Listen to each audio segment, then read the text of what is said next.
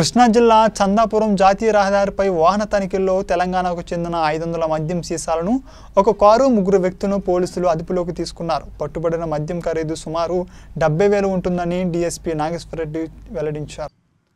కంచికచర్ల మండల మొన్నలూరు గ్రామానికి చెందినవారు అని ఈ ఉగాది పండుగ సందర్భమై అధిక ధరలకు తెలంగాణ మద్యాన్ని అమ్మడానికి కంచికచర్ల తీసుకుని వస్తుండగా పట్టుబడినట్లు డీఎస్పీ నాగేశ్వరరెడ్డి తెలిపారు. ఈ సమావేశంలో సిఐ కనకారావు ఎస్ఏలు పండుధర సురేష్ సిబ్బంది పాల్గొన్నారు.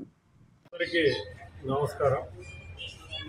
గత రాత్రి ఎస్ఐ గారు నైట్ ఉండి రాబడిన సమాచారం మీద vehicle checking Chandapuram cross road వద్ద వెహికల్ చెకింగ్ చేసి తెలంగాణ వైపు నుంచి టువర్డ్స్ కంచికచర్ల వైపు వెళ్తున్న ఈ TS vehicle zero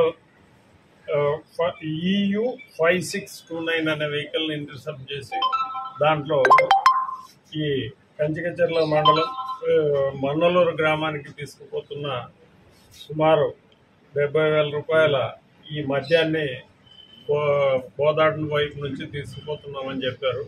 స్వాధీనం చేసుకుని దానికి సంబంధించిన ముగ్గురు వ్యక్తులను అరెస్ట్ చేశారు.